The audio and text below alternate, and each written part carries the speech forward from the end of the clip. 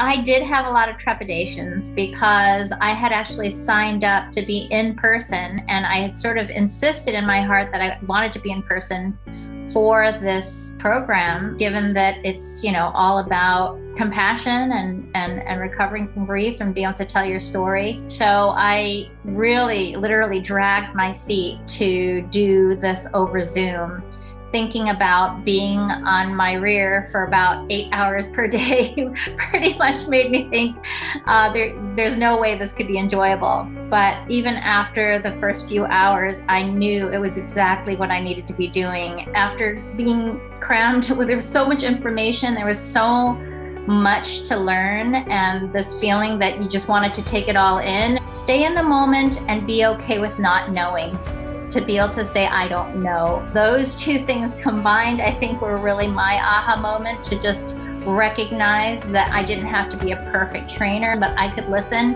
and use my intuition. What I would tell somebody who might have reservations, um, I understand. I completely do. But I would just say, put one foot in front of the other and, and give it a try, and, and you won't regret it.